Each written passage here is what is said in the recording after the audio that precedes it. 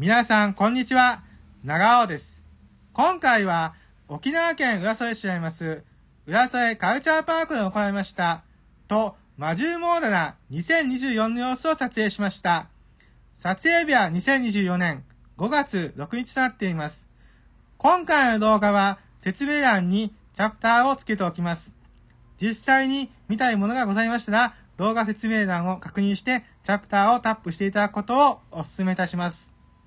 それでは、浦添カルチャーパークで行いました、と、魔獣モーダラ2024の様子が流れます。